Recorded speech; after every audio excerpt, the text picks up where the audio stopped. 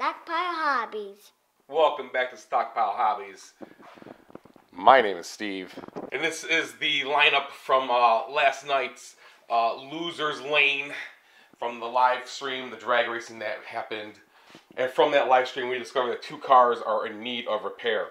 Uh, both of these cars failed to uh, run on the return track. I'm going to try them out again right now, these two here. Uh, I actually own a, a Corvette ZR1 back in the day. Uh, we gotta change his wheels. We gotta make the wheels match like the, the one I used to have. So we're gonna customize this one, uh, get this chassis working again, and then also see what's going on with the Pennzoil IndyCar here. Uh, it's very dirty. We're gonna get this thing cleaned up, bring this thing back to life. Uh, I'm not gonna customize this one. I'm gonna leave it as the Pennzoil one. This is one of the ones I had as a as a kid, so I, I like this one. Been re-glued many times, but uh, yeah. So let's take a look at what's going on here and get these guys rolling. All right, first off, let's see if we have any uh, power on the track here. No. All right, appears to be working okay. Uh, the shoes are in need of a major cleaning as my light freaks out over here. There we go. Uh, so yeah, the shoes look like they're in need of major cleaning. The uh, commutator window could use a cleaning. Uh, it needs to be uh, it needs to have the old slot car of the week tune-up perform to it. So uh, we're going to do that. And We're going to customize the wheels to match the, the one I used to own. And the Indy car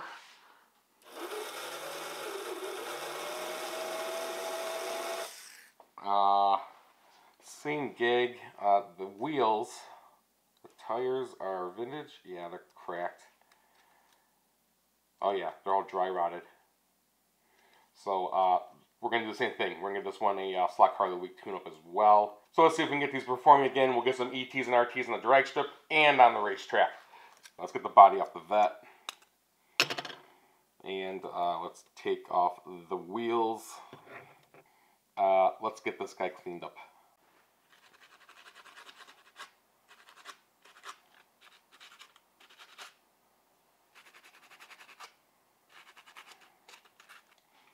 So as you see, the shoes shined up really nice there. Uh, the commutator window is looking really nice. I got some high-speed bearing oil here, and I'm just going to oil the armature here where it um, goes through the chassis. There we go. And uh, throw the wheel back on it here to uh, spin it.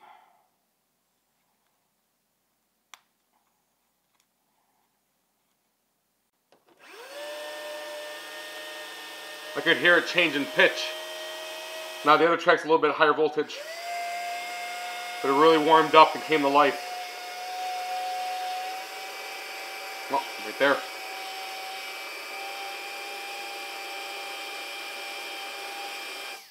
Sounds good. Alright, let's get the body off. There we go. So we're to clean up this commutator window as well. Get rid of these tires. Uh, shine up these shoes also. And this car, I feel like I want to give it black wheels. So we're going to make these gray uh, wheels here black. I think that'll look better with the uh, overall theme of the car versus the dull gray, uh, the gunmetal gray. And give it some black wheels. So, in the body here. So I got some uh, rubbing alcohol here. I've swapped some onto a Q-tip and I'm just going to clean up all that dirt. Something I didn't mention with the rubbing alcohol is you want to make sure that you want to use a very little bit and go very quickly and dry it off because it will melt the plastic. It will also rip off the tampos. If you do it right, it looks really nice. Looks even better with the light on. Alright, here's our finished product. Uh, they look great. My uh, homage to my original uh, 1991 ZR1 that I used to own. And then the Pennzoil one went on with the black wheels. Cleaned up the body real nice. It's shining. It looks sharp without all black wheels. Let's see how they do in the drag strip. So right before we get on to that, I want to ask you, if you're not subscribed to the channel, please consider subscribing. Please give a thumbs up to the video. All these things help grow the channel. Uh, me as well as the others in the community. Uh, please do the same for Dan over at Slot Valley Racing. Scott at Scott's HO House Racing and as well as uh, Buckeye Racing as well. Check these people out, support us, help us all grow together. And now back to the show. I'm running into a problem now with uh, my display covering up the track and how far you can see down. I brought the tree in close to the camera, so hopefully you can see uh, the lighting and all that from the launch down there. Uh, I got the ZR1 in the right lane. I got the Formula One in the left. Let's see what it does, or what they do. Oh, wow. So I warmed these cars up too. I sat here on the return track warming them up. So there you go, there it is. Proofs in the pudding. The Formula One's got the zero unbeat. So let's move on to the racetrack. All right, I just I just did some laps untimed. Uh, pretty much got my finger full throttle the whole way to zero one. I'm not happy with the performance on this chassis. I might swap it out for another one, but we are here to see what it can do. Let's see what it can do.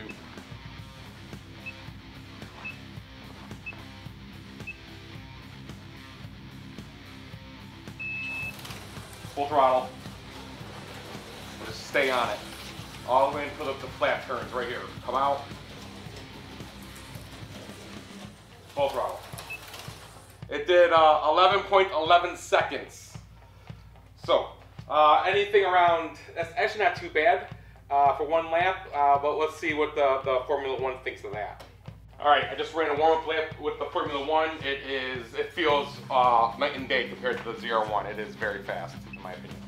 Let's see what it can do.